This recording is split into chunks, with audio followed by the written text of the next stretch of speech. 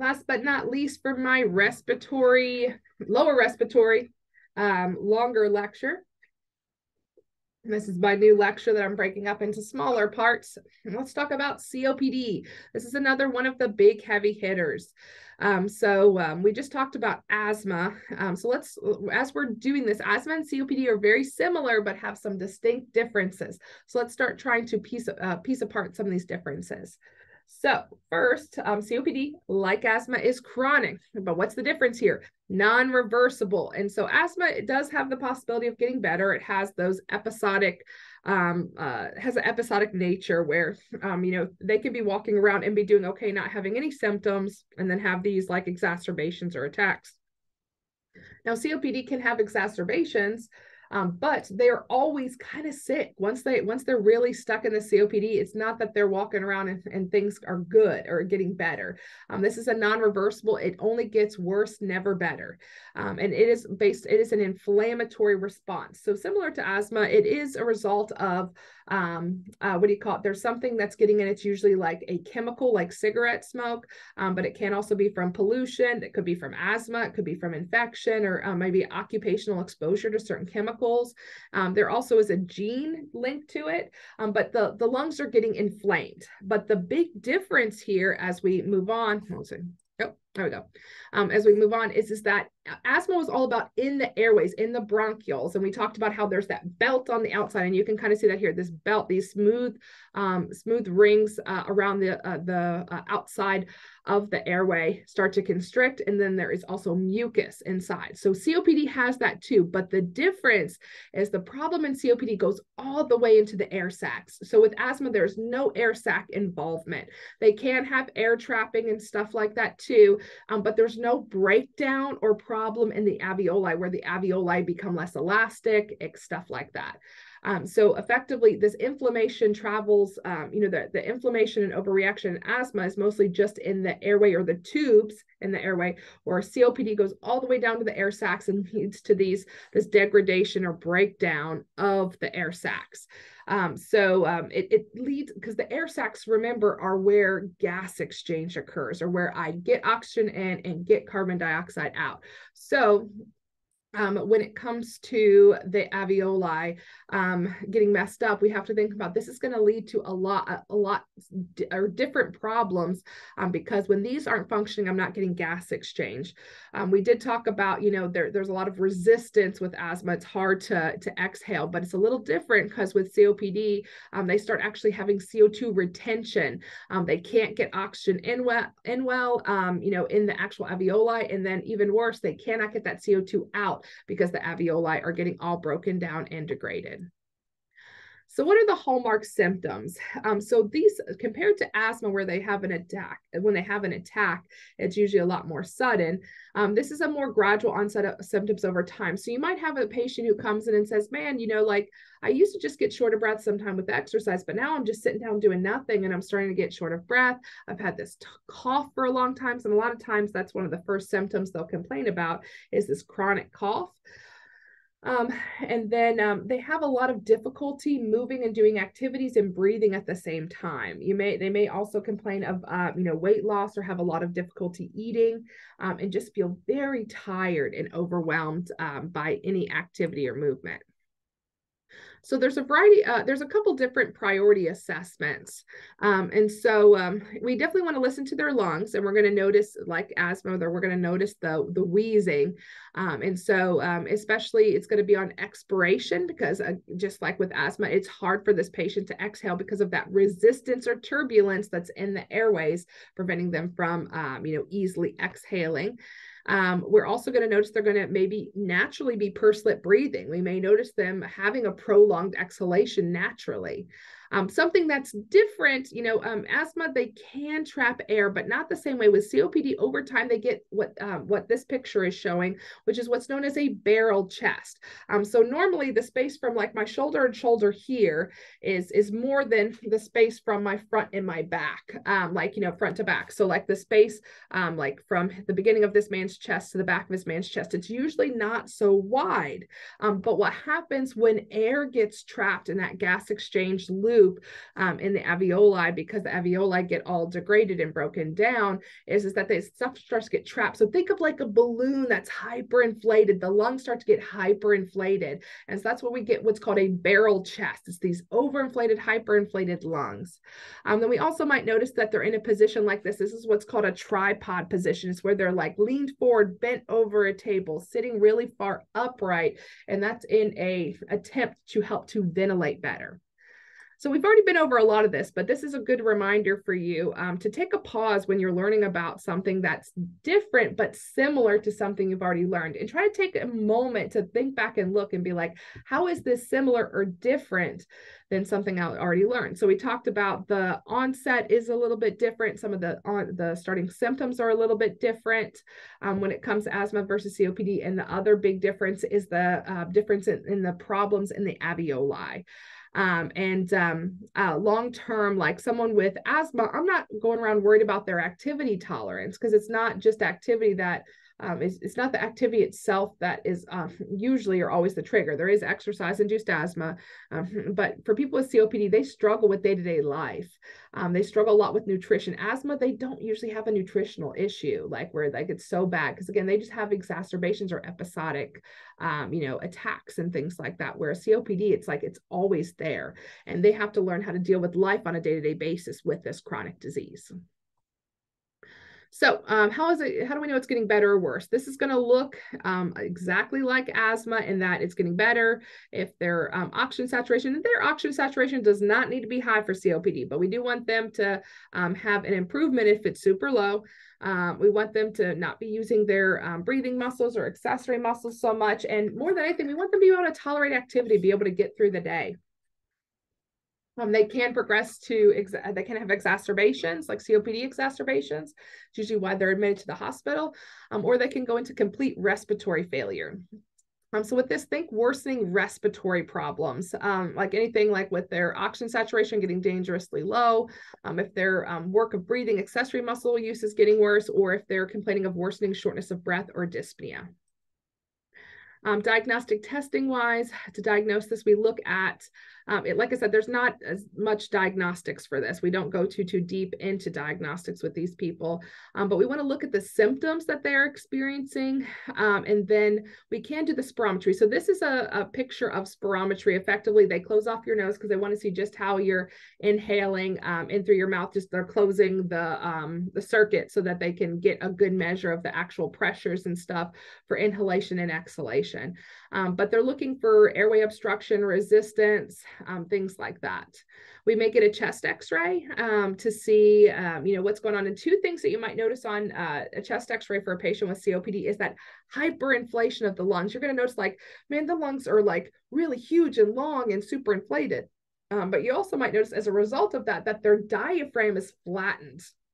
That's because literally the lungs are hyperinflated, taking up so much space that they flatten the diaphragm.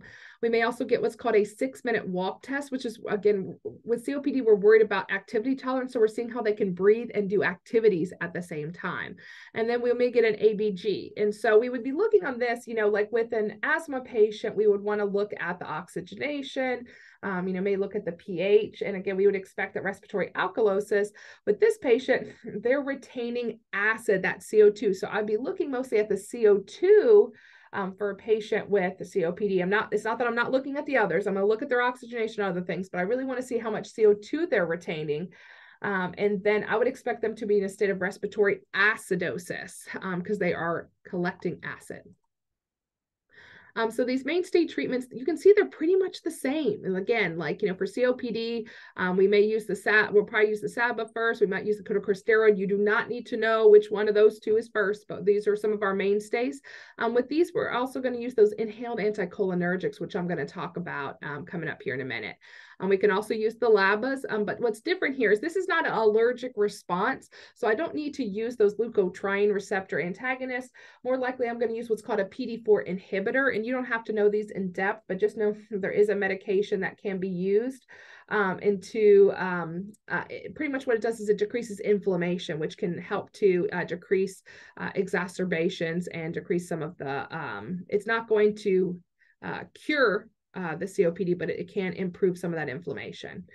Um, airway clearance techniques are going to be super helpful for these patients. I'm going to talk about some airway clearance, some breathing stuff, but just know with COPD, um, there can be some tricky questions that ask you like, hey, how are you going to help a COPD patients with airway clearance? And airway clearance is different than um, breathing patterns, breathing techniques. So like the things I do to help with a patient's COPD patient's breathing is different than what I do for their airway clearance. Um, I have another smaller video called respiratory priorities. So I'll talk a little bit about it, but if you find that confusing, I highly recommend watching that video that kind of breaks it down a little bit. Um, so there are some more invasive uh, procedures or surgeries that can be done. We can remove some of the diseased lung. We can insert valves to allow for better breathing. Um, these are obviously more of a last ditch effort and more for like comfort um, to try to make things a little bit better, to make some room for the other um, healthy parts of the lung, um, but it doesn't actually cure or fix anything. Um, and so compared to asthma, which again, asthma is an exhalation issue, COPD, they have more of a ventilation issue you. They're going to need oxygen, um, but oxygen's not going to, like for asthma, we need to open the airway and give them oxygen. For COPD, um, we need them to exhale more because um, no amount of oxygen is going to fix this patient. They do have oxygenation kind of problems. Their oxygen can be low, but um, it's not that oxygen is going to come in and save the day. What really saves the day is the ability to ventilate. So going along with that, um, COPD is not an oxygen problem, it's a carbon dioxide problem. Um, with that being said, this patient's most likely going to be maintained on oxygen. They're probably even going to go home on oxygen. Um, but just know that oxygen does not fix this client. It just helps to support them in um, what they're experiencing. So the main problem is in the air sacs and in the constricted airways. And so again, it's that restrictive, um, you know, belt around those airways and then that turbulence it has with the mucus. Um, we usually only keep uh, COPD patients maintained at 88 to 92. And I've heard some people say that they were told that a COPD patient can only be maintained on two liters, no more. Um, you can maintain a patient with COPD on any levels of oxygen, even on a ventilator, on a mask, and other things. But just know that's not what I'm trying for. I want the least amount of oxygen on this patient as possible. So um, with these patients, I am not trying to put a non-rebreather on them if I can help it. Just nasal cannula is usually enough. If I need more, I'll do something like that venti mask that allows me to do precise concentrations of oxygen. If they're on the ventilator, I want the least amount of oxygen needed um, in order to give the best possible outcome. Because um, again, while they might need some to sustain them in this 88 to 92, um, we don't want to give them too much. It's not going to fix them. It's counterintuitive because everything else you learn about says, oh my goodness, you have to give them more oxygen. Their oxygen's low. Um, but again, as long as they're in that 88 to 92, then I really need to look at how we're ventilating because that's going to um, help them more than anything. So there's also, like I mentioned when I was talking about asthma, there's inhaled anticholinergics. Now these are more used more often for COPD than they are for asthma. Um, but they can help a patient, um, they can help both, especially if a um, asthma patient is not responding well to the SABAs or having too many side effects with them. Um, so these all end in um, the PM, like ipratropium, um, and um, I'm probably saying that very bad, but it's best I can do. And they're short acting and long acting for these. Um, so these are going to work um, in the fact uh, in two different ways is that they relax the smooth muscles. So all those rings or belts around the airways that are super tight, these help to relax these, um, relax those, and they also help to dry up some secretions. Um, so, but on the flip side, as much as these can help and they can relax my airway, you know, get some rid of some of those secretions, they can dry other areas. So patients may complain of a dry mouth.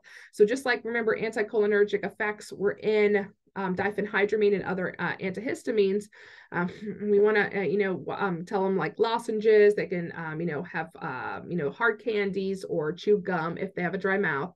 Um, but we want to worry about other areas getting dry too. Now, generally with inhaled uh, medications, they're not as systemically absorbed, but it is possible that they could have some um, vision issues, urinary retention, constipation, that kind of stuff too. So just watching closely for those um, possible side effects. All right, let's pause and do a COPD pay, uh, question. So nurses caring for a client with COPD, which action by the nurse is most beneficial?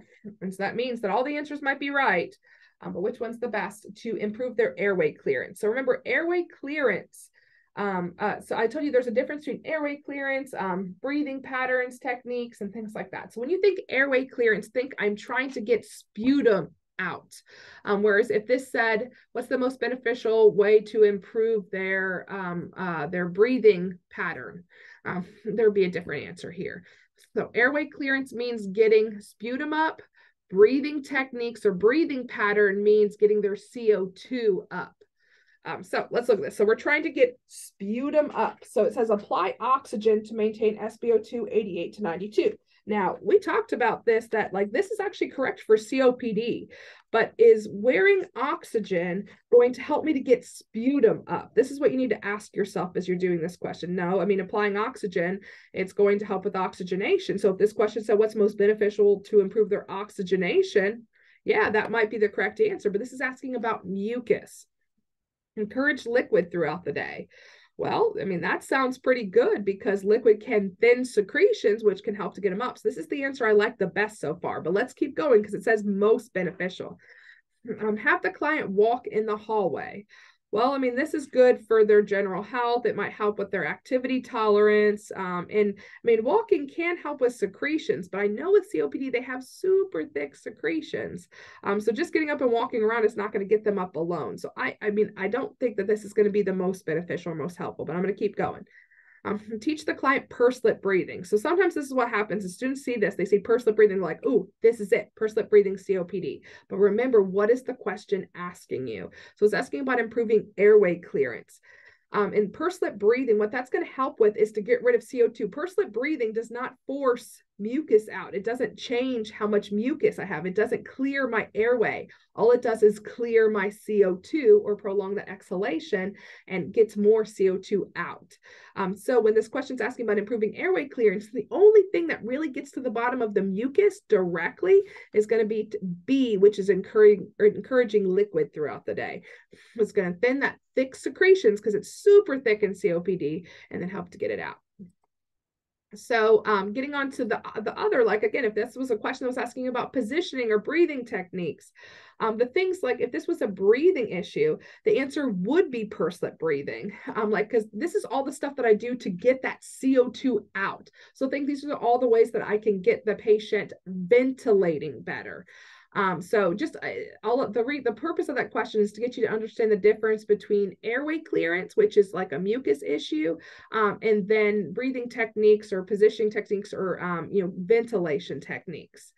Um, so, uh, you know, effectively head of bed elevated, pursed lip breathing, and maybe some physical therapy, pulmonary rehab. This can get you um, get up, get moving, and get that CO2 out. Whereas airway clearance, this is getting rid of sputum.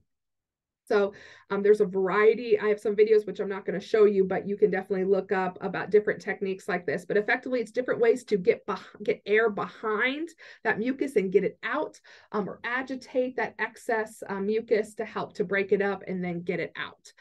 Um, so there's uh, what's known as the huff cough.